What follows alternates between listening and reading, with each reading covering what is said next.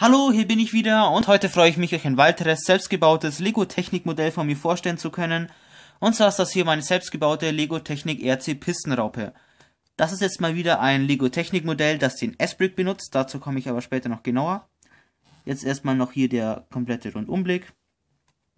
Ähm, vorne an der Fahrerkabine hier gibt es auch noch ein paar kleine Features. Und zwar lassen sich hier erstmal die beiden Türen hier öffnen. Und auch der Scheibenwischer ist hier beweglich. Und jetzt komme ich auch schon zu den Funktionen von diesem Fahrzeug hier. Um das Ganze erstmal anschalten zu können, lässt sich dieses Seitenpanel hier auch nach oben klappen. Darunter befindet sich dann der Akku. Und da das Ganze ja über den S-Brick getrieben wird, kann man das hier wieder über das Smartphone bedienen. Der befindet sich übrigens hier vorne, der S-Brick.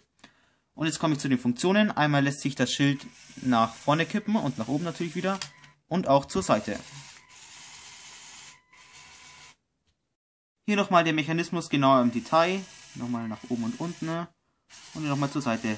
Ähm, für das Kippen und für die seitlichen Bewegungen wird jeweils ein M-Motor benötigt. Ich komme hier nochmal schnell zum Heck. Hier kann man den ersten M-Motor sehen. Ähm, man kann hier hinten auch noch irgendeine Gerätschaft oder irgendetwas anbringen. Hierfür gibt es die Halterung, die kann man auch drehen, je nachdem, wie man sie benötigt. Und wenn diese Gerätschaft auch irgendwie einen Antrieb benötigt, kann man das hier anstecken, den Antrieb. Und dann über dieses kleine Getriebe hier unten ne, den Antrieb dann dazuschalten. Und das wird dann auch über diesen M-Motor hier zusätzlich betrieben.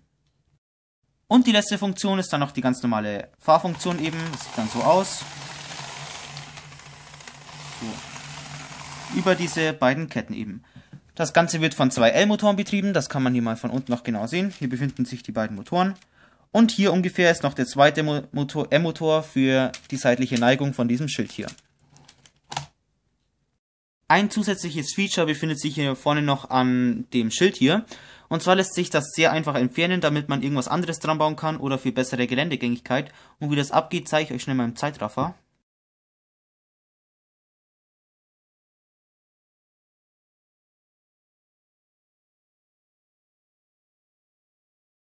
So, jetzt kann man sehen, hier hat man das Schild dann als einziges Teil und noch ein paar Anbauteile. Das war's jetzt aber mal zur genaueren Beschreibung und jetzt werde ich damit rausgehen und euch dieses Fahrzeug mal in Aktion zeigen.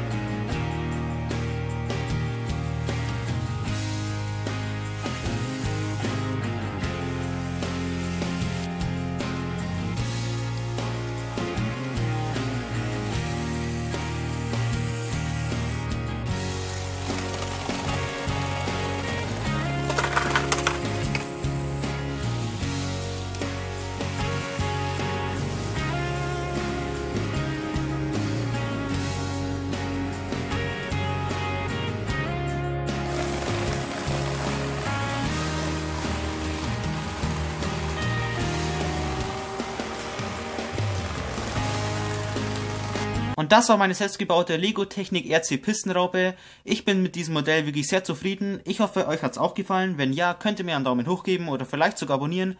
Und dann hoffe ich wie immer, wir sehen uns wieder beim nächsten Mal.